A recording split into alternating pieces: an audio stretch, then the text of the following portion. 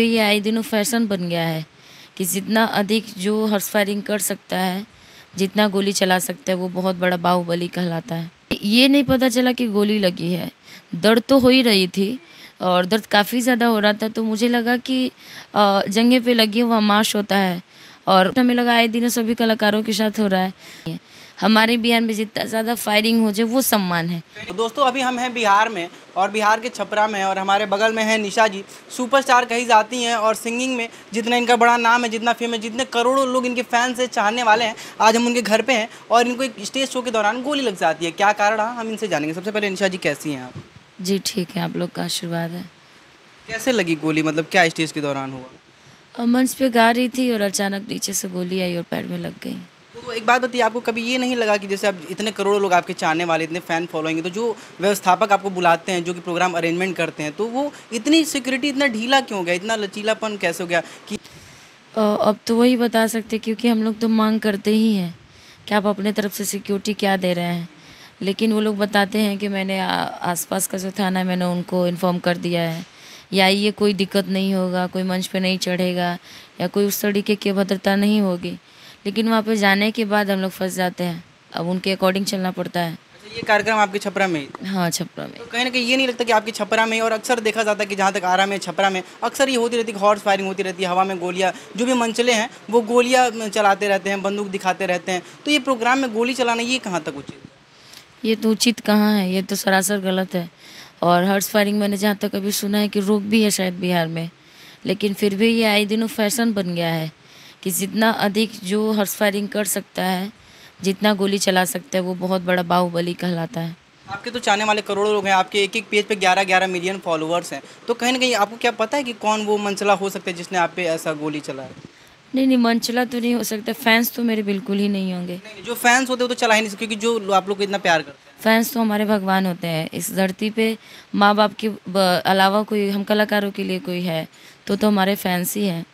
क्योंकि दुनिया में रहना सिखाना और इतना नाम फेम देना तो उन्हीं का है। क्योंकि आज भोजपुरी में सबसे ज़्यादा फॉलोअर्स है मेरा तो इन्हीं लोग के कारण है। जी जी। और कोई मंच से गा करके मेरा एल्बम भी कोई हिट नहीं हुआ है। मंच से गा करके मैंने 11 मिलियन फॉलोअर्स इतना करोड़ों फैंस मेरे हो सकते हैं। तो सोचिए कि आई एम वेरी लकी अच्छा हमने सुना था कि उसी दिन आपको एक बहुत बड़ी खुशखबरी मिली थी कि एक, एकमात्र ऐसी कलाकार जो बिहार के जो निशा उपाध्याय जी हैं, उनको अमेरिका से कॉल आता है कि आपको वहाँ पे प्रोग्राम करना है। जी जी। उसी दिन मैं उसी चीज़ से ज़्यादा खुशी में थी। उस दिन मेरा दो कार्यक्रम था। एक छपरा में ही पड़ता है नया गाँव। नया गाँव थाना के करीब में ही एक जागरण का कार्यक्रम था। उस जागरण का कार्यक्रम करके फिर मैं वहाँ जा रही थी। वहाँ भी उपनयन संस्कार का था। तो क्या मन में था कि हम लोग गाड़ी वापस कर लिए थे, बैक कर लिए घर आने के लिए। लेकिन फिर वहाँ से कॉल आया कि ऐसा ऐसा बात है कि आ जाइए आप कि यहाँ से आ करके चले जाइएगा अच्छा नहीं लगेगा। फिर हम लोग गए वहाँ पर गए तो देखे कार्यक्रम चल रही थी। फिर दो गाना गाए ही थे अभी तब तक फिर ऐसे ऐसे हमने देखा कि जब बहुत सारी खबरें आ रही हैं कि जब आप गाना गा रही थी जब आपको गोली लगी उसके बाद ही लगभग दस मिनट तक आप लगातार गाना गाती रही तो क्या आपको पता नहीं चला कि हाँ हमको गोली लगी है? नहीं ये नहीं पता चला कि गोली लगी है। दर्द तो हो ही रही थी और दर्द काफ़ी ज़्यादा हो रहा था तो मुझे लगा कि जंगे पे लगी हुआ माश होता है। और पत्थर से कहीं से भी लगे तो पत्थर भी चोट होती है। तो पत्थर की चोट हमें लगा आए दिन सभी कलाकारों के साथ हो रहा है। तो मुझे लगा कि चोट लगी है पत्थर कहीं जो भी बड़े सुपरस्टार जैसे पवन सिंह जी हो गए खेसारी सबके स्टेज शो में आजकल पत्थरबाजी चल जैसे अभी हाल ही में बलिया ज़िले में पत्थरबाजी हो गई थी पवन सिंह जी पे। तो कहीं ना कहीं आपको भी लगा कि किसी बच्चे ने पत्थर मारा होगा। हाँ तो मुझे भी वही लगा तो मैंने सीरियस नहीं लिया। लेकिन जब धीरे धीरे जैसे एक गाना गा ली मैं और बढ़ते तब तक अचानक पैर पूरा भारी हो गया मेरा और सर में काफ़ी तेज़ दर्द और चक्कर टाइप से आने लगा। तब मुझे लगा कि नहीं और बहुत तेज़ जलन भी होने लगी। और ब्लडिंग आ रही थी तो ब्लडिंग इसलिए नहीं दिख रहा था क्योंकि मैं ब्लैक कलर का जीन्स पहनी थी। उससे पता नहीं चल रहा था कि ब्लड आ रहा है कि नहीं आ रही चार दिन आई वार्ड में हाँ चार। डॉक्टर ने क्या क्या हालत कैसी है? अभी तो हालत ठीक नहीं है लेकिन फिर भी पहले से ठीक है। रेस्ट ज़्यादा कर जो बारूद की जलन वो इतनी जल्दी तो ठीक होगा नहीं। यही तो कटे फटी होती तो दवाई मेडिसिन से भर सकता था। जला हुआ घाव जल्दी नहीं भरता है। जो भी आपके मैम करोड़ों दर्शक देख रहे हैं जो आपके फॉलोअर देख रहे हैं उनको क्या कहना चाहेंगी कि जैसे हॉर्स फायरिंग क्या एक सेलिब्रेट करने का तरीका जब उनके जो आ, स्टार आते हैं तो क्या उनको देख के इतनी खुशी हो जाती है? तो क्या यही एक तरीका है कि हम गोली चला के ही उनकी खुशी का इजहार करें? नहीं नहीं खुशी की इजहार करनी है तो आउट ऑफ़ द बिहार जाइए या पंजाब लुधियाना साइड जाइए हरियाणा साइड जाइए चाहे आउट ऑफ़ कंट्री भी जाइए जैसे कलाकारों के ऊपर देखिए बहुत सारे पैसे उड़ाते हैं लोग। कलाकारों को सम्मान दिया जाता है। हमारे बिहार में इस तरीके के नहीं है। हमारे बिहार में जितना ज़्यादा फायरिंग हो जाए वो सम्मान है। कहीं देखा जाता है हाँ ये दिखाया कि मैंने दस फायरिंग किया पचास फायरिंग किया यदि आप दस किए तो मैं बीस करूँ। मतलब इसमें ज़्यादा उन लोगों को बढ़ता है कि मैंने ज़्यादा, उसी पाँच सौ रुपये का एक शायद गोली आता है, जहाँ तक मुझे पता है। तो उस पाँच सौ रुपये को आप किसी गरीब में खर्च कर दीजिए। या वही कलाकार भी बहुत गरीब घर से ही आगे बढ़ता है। बहुत मेहनत करने के बाद वो नाम वो फेम कमा पाता है। वो पैसे या तो कलाकार को दे दीजिए वही पाँच पाँच सौ के एक माला बना के दे दीजिए उड़ा दीजिए चाहे किसी गरीब को दे दीजिए कि आपका नाम हो। कहीं ना कहीं इसमें तो पुलिस प्रोटेक्शन की भी तो लापरवाही सामने आती है क्योंकि अगर जब पुलिस प्रोटेक्शन होता तो कहीं ना कहीं फायरिंग तो होती नहीं। क्योंकि लाइसेंस जहाँ तक लाइसेंस वाली जो बंदूकें जो राइफल होती हैं तो हर जगह तो आपको चलाने का अधिकार है तो कहीं ना कहीं पुलिस प्रोटेक्शन का भी इसमें सवाल उठता है कि उसकी ही लापरवाही की वजह से कहीं ना कहीं ये हो हाँ, वो तो बिल्कुल है। पुलिस प्रशासन की भी है बहुत ज़्यादा दिक्कत। और सबसे बड़ी बात है सरकार का भी क्योंकि वो आँखें खोल नहीं रही है।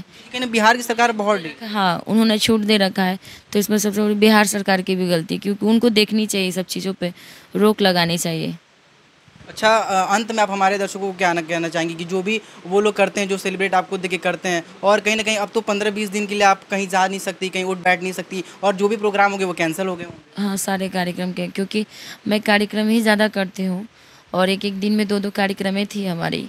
और अभी कंटिन्यू सत्रह तारीख तक लगातार कार्यक्रम था। सत्रह दिन लगातार कार्यक्रम? कार्यक्रम था हाँ। उसके बाद तो मैम दुखित हो जाता होगा कि जब आपके इतने लोग करोड़ों चाहने वाले लोग हैं और वहाँ पे अगर कोई सरफिरा के गोली मार देता है और सारे प्रोग्राम कैंसिल हो जाते हैं एक झटके में तो कहीं ना कहीं मन तो बहुत दुखित होता मन तो बहुत दुखित है क्योंकि कभी आदत नहीं है घर पे इतना रेस्ट करने का क्योंकि मैं घर पे कभी आती ही नहीं थी जल्दी इतना। क्योंकि हमेशा तीसों दिन कार्यक्रम करना बाहर ही रहना था। और हम लोग का क्या है कि जब तक हम अपने फैंस से मिलते नहीं हैं, मन नहीं लगता है, क्योंकि हमेशा फैंस के बीच में रही हूँ। और आज ऐसा हो गया कि आज चार पाँच दिन हो गए चार पाँच दिन से बेड पे पड़ी हुई हूँ।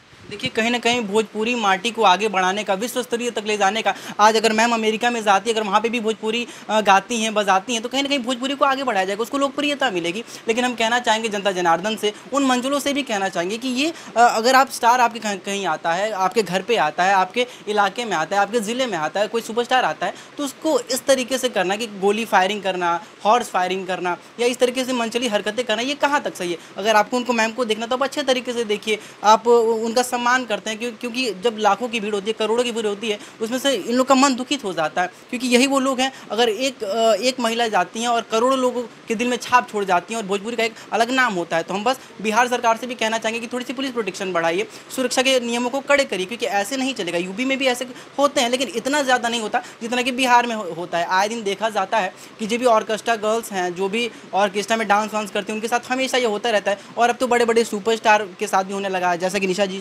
निशा जी के साथ भी हो चुका है तो इस पर रोक लगानी चाहिए। बाकी आपको वीडियो कैसी लगी, एक बार कॉमेंट बॉक्स में ज़रूर बताइएगा। वीडियो में बने रहने के लिए आप सभी दर्शकों का सादर आभार।